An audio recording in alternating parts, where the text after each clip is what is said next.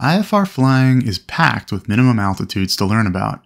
Most are depicted on a low en route chart, like this one near Omaha, Nebraska. The off-route obstruction clearance altitude, OROCA, is designed for altitude planning on routes that aren't along published airways or procedures. In this quadrant, bounded by the lines of latitude and longitude, the OROCA is 4,000 feet.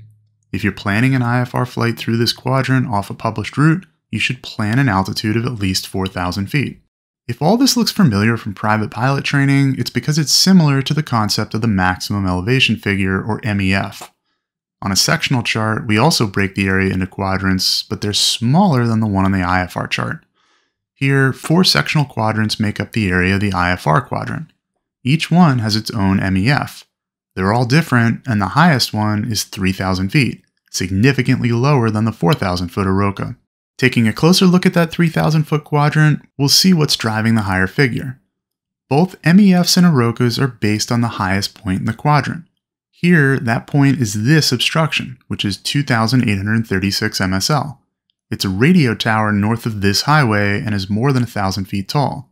So that radio tower is the highest point in both this VFR sectional quadrant as well as the larger low en route chart quadrant. So the same tower is generating two different figures for the MEF and the OROCA. Here's how it's calculated. In the Aeronautical Chart User's Guide, which you can find on the FAA website, the first rule deals with when a man-made object like this radio tower is clearly the highest obstacle in the quadrant. The radio tower is 2836 MSL. We'll take this elevation then and add a possible vertical error, which is typically 100 feet. This sums to 2936. Then we round to the next highest 100 feet, and that's our MEF, 3000 feet. Here's what happens if that highest obstacle isn't a radio tower, but a natural feature like a mountaintop. Again, we start with the terrain elevation, then add a 100 foot vertical error allowance. Now, though, we also add a 200 foot allowance for uncharted objects which might not have made it on. Our sum is 3126, and we'd round to the next highest 100 to get our MEF of 3200, which is what it would be if that highest feature was terrain and not the radio tower, which it actually is. So that's the MEF. How is the OROCA calculated?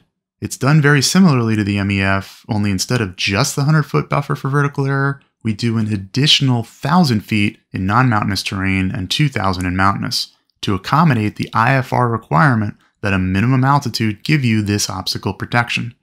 So adding 1,000 to the MEF gives us the OROCA of 4,000 MSL. And that's the real difference between the MEF and the OROCA.